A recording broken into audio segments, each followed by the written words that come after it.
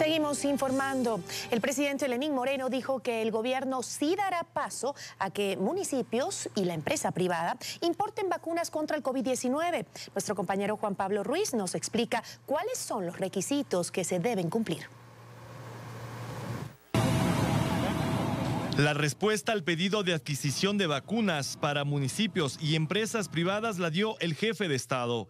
Que sí, pero por supuesto hay que atravesar, hay que pasar por la calificación de la Agencia de Regulación Sanitaria y Control Sanitario, que es ARSA.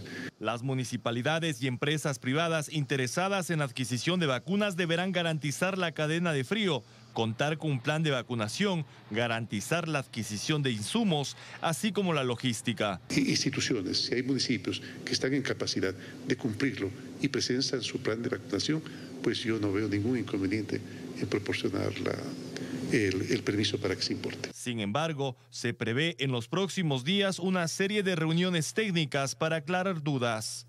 ¿Van a vacunar solamente a la gente que tiene residencia declarada en esos cantones? Tras el anuncio, varias municipalidades reaccionaron. Cintia Viteri, por ejemplo, escribió en Twitter. Luego de las declaraciones del presidente Lenin, el día lunes presentaremos nuestra mesa técnica con expertos en el área de salud, vacunación y jurídica, que llevarán a cabo la propuesta de planificación de vacunación. Además, el gobierno recordó que se han destinado 200 millones de dólares para vacunar alrededor del 60% de la población. Juan Pablo Ruiz, TC Televisión.